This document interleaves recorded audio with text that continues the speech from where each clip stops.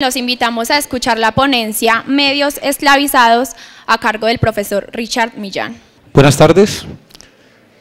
Esta ponencia fue eh, presentada hace dos semanas en un congreso internacional realizado en CIESPAL, el Centro Latinoamericano de Educación Superior para la Comunicación en Ecuador, a propósito de los 10 años de Telesur y la discusión de la libertad de prensa y expresión en América Latina.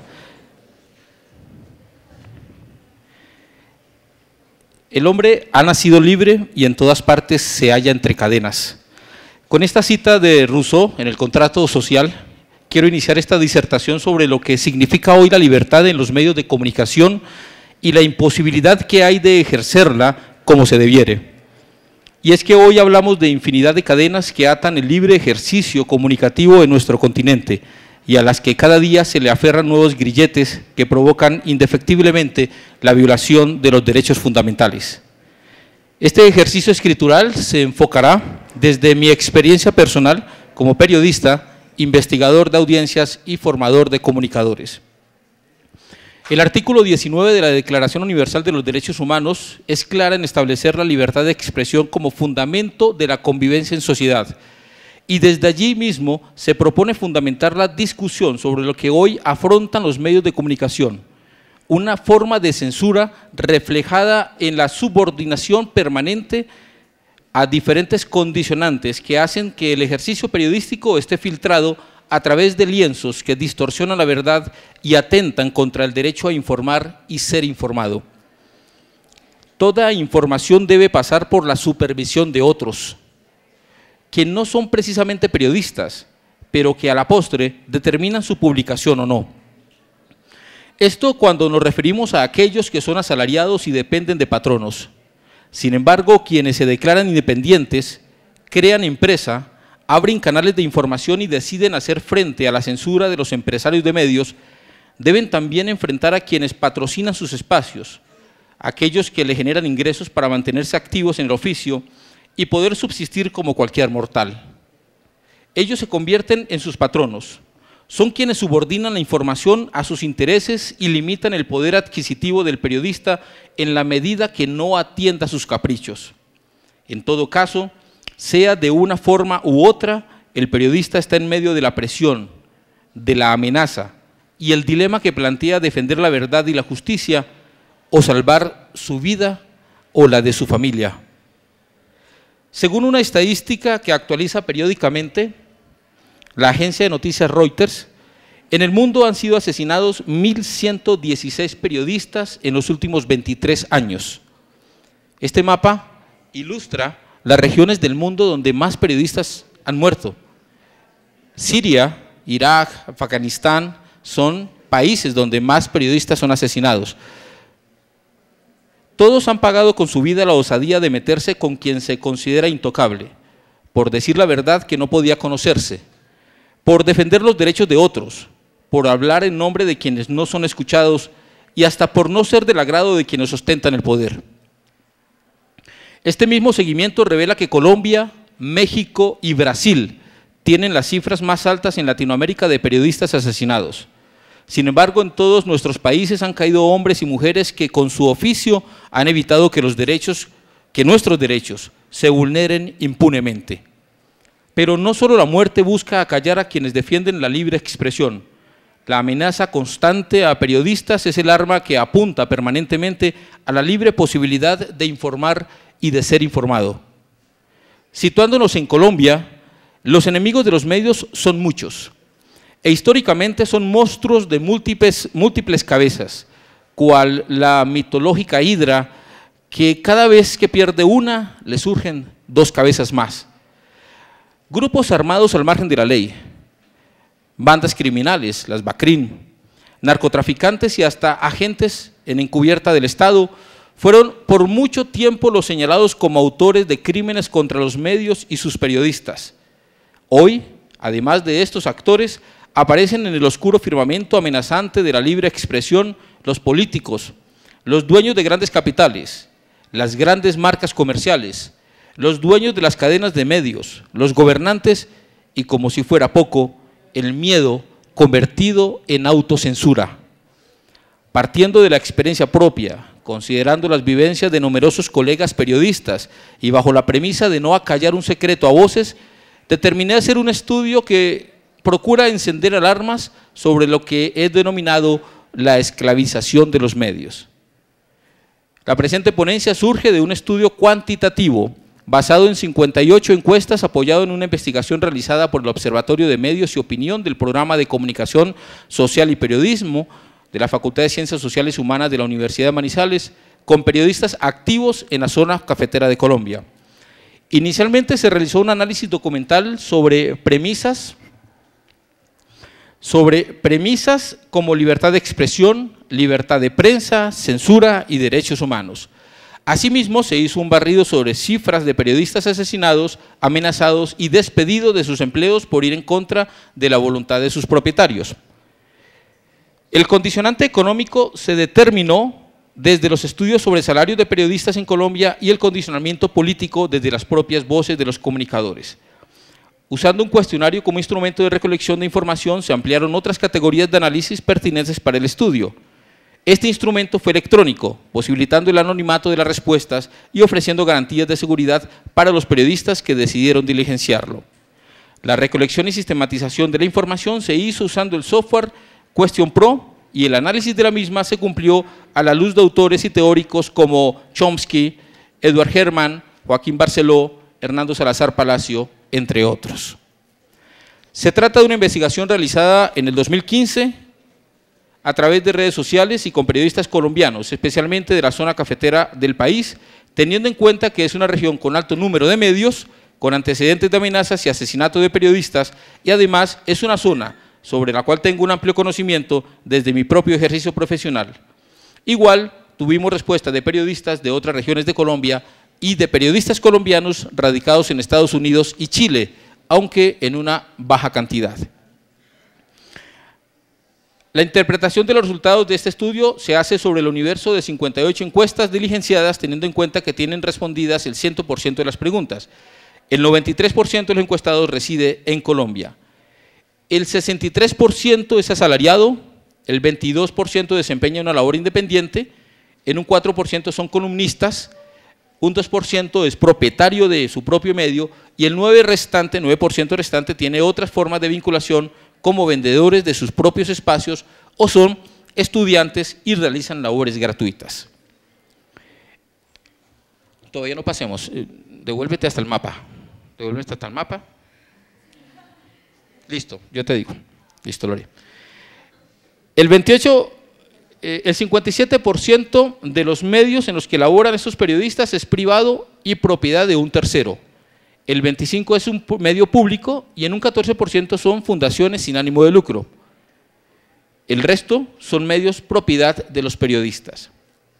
A la pregunta si el medio en que labora tiene algún vínculo o sesgo explícito, ahí sí Lorena, en su actividad, considerando sesgo como una inclinación favorable a un tema o factor externo que podría alterar el equilibrio informativo, la respuesta mayoritaria fue con un 35% que no tiene sesgo alguno, sin embargo, el 65% restante se divide en sendos porcentajes en los que se observa que un 26% de los medios tienen un marcado sesgo hacia factores económicos, un 19% tiene un sesgo político, un 18% con claro sesgo gubernamental o institucional.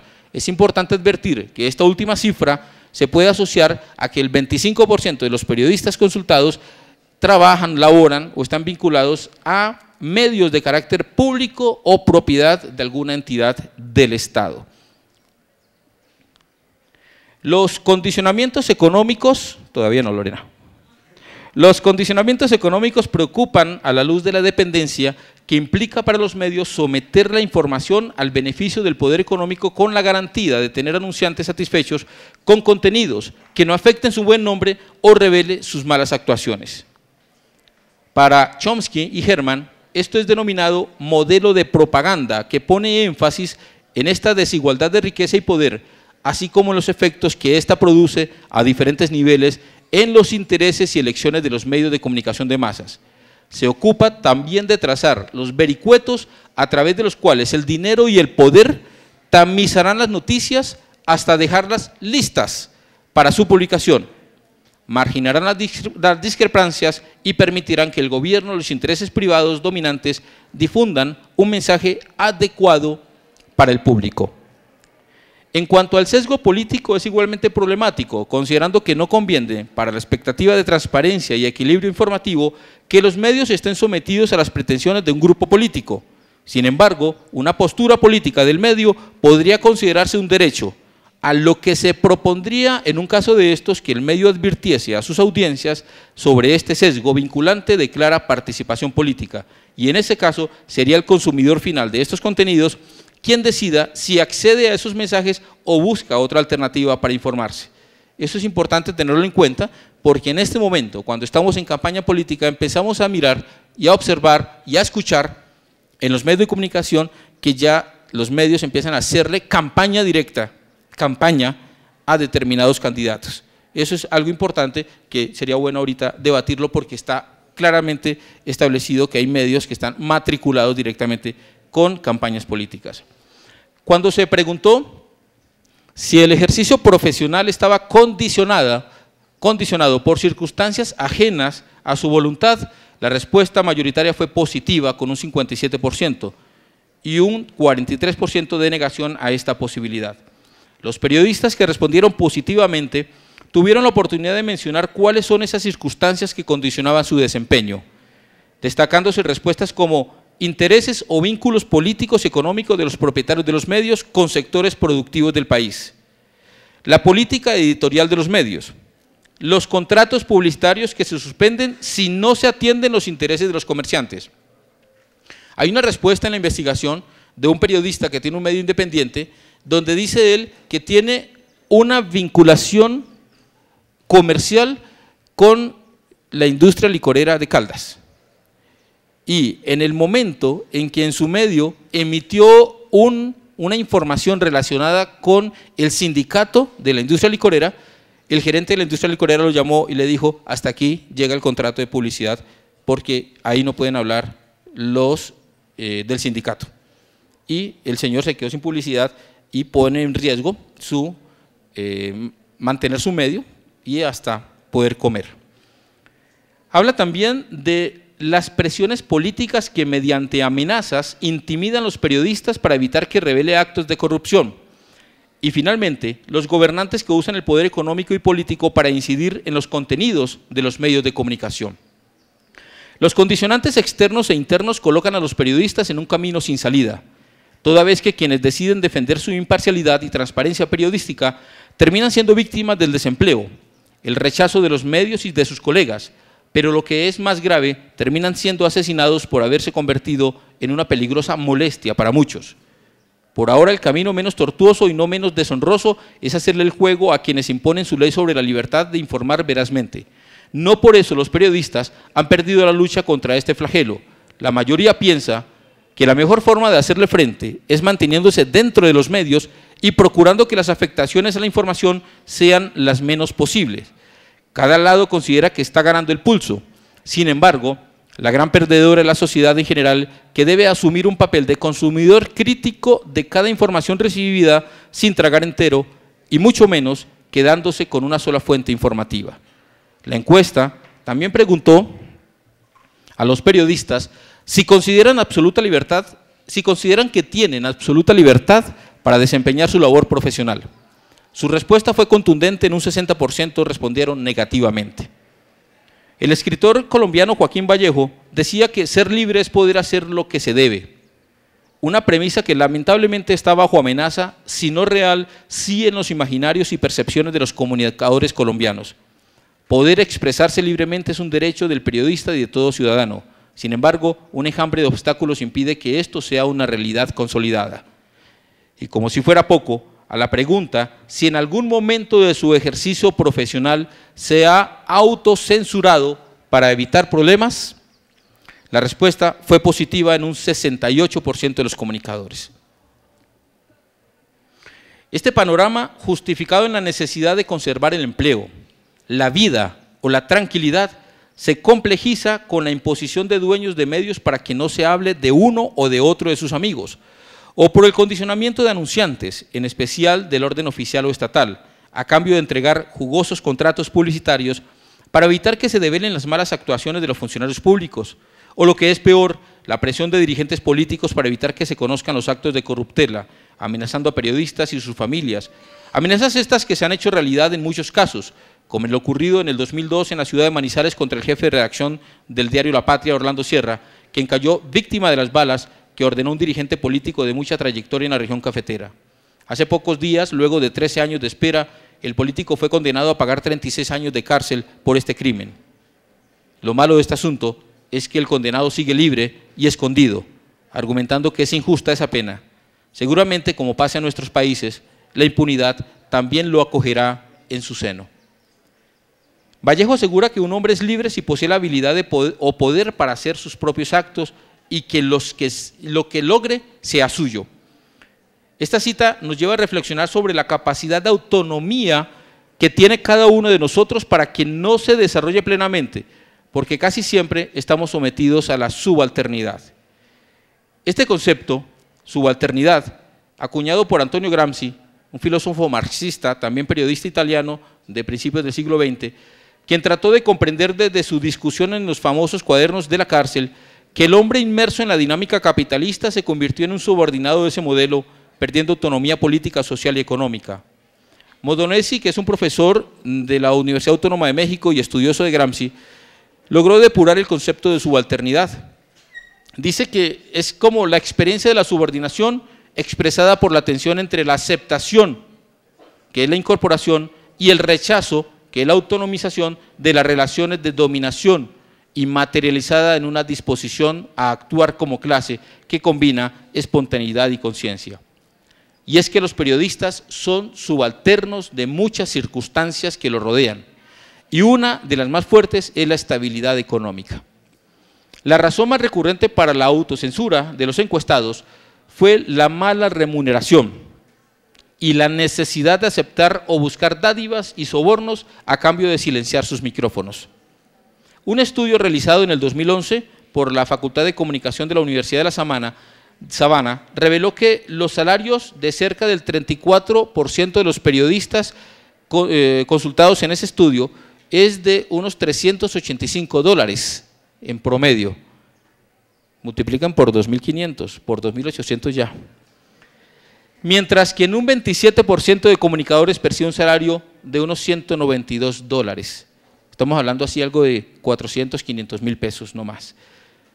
El porcentaje restante de periodistas tienen el mejor ingreso, sin superar un promedio de 1.200 dólares. Pero cuando uno habla de directores de los grandes medios, están recibiendo cerca de 40 mil dólares mensuales de salario. Y quien pone el pecho gana 1.200 dólares. Es más o menos el resultado de esa investigación.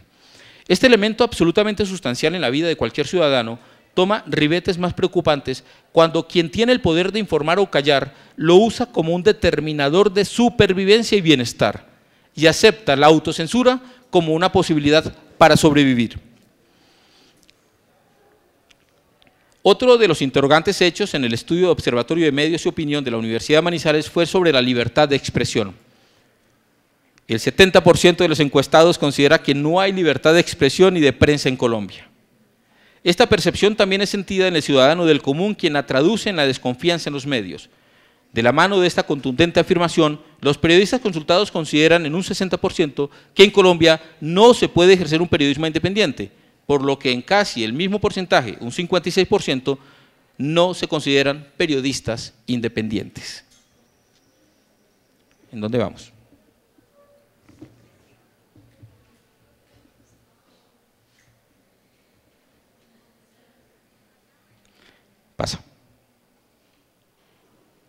Ahí está el dato de las respuestas. Sigue. Y es lamentable que un periodista reconozca la incapacidad de ganarle el pulso a los condicionantes que lo fuerzan a hacer lo que va contra su voluntad. La independencia de un comunicador hace parte de su esencia. No tenerla es perder la libertad para decir lo que se debe decir cuando se debe decir sin que nadie le diga qué debe decir.